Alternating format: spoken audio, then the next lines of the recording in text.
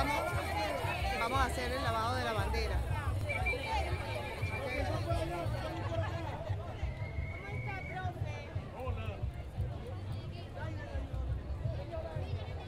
Este es el verdadero poder del pueblo. Súmate el verdadero poder del pueblo. Poder expresar. Es el verdadero poder del pueblo. Tricolor, tricolor, para eso estamos aquí. Tienen que dar la vuelta.